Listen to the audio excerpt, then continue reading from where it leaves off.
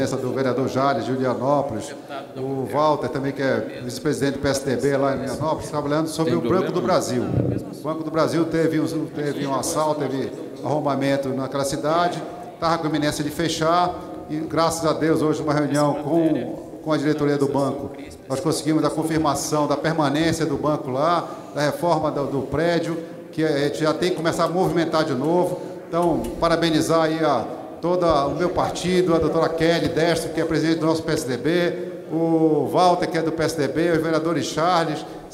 Sergipano, Daniel e Marta Rezende tiverem audiência conosco, trabalhando junto com o Banco do Brasil para que volte aquele município importante, município de Olianópolis, um município que tem uma economia muito forte, que depende muito forte da agricultura, temos uma usina de álcool naquela região, enfim, precisamos que o Banco do Brasil retome seus trabalhos, retome a sua atuação, que a economia precisa é, ser reaquecida naquele, estado, naquele município e se comprometeu, a partir de dezembro, as ações do Banco do Brasil voltarem a funcionar e logo, logo um novo prédio para que a gente possa funcionar na sua totalidade, inclusive com recursos é, sendo empregados naquele município.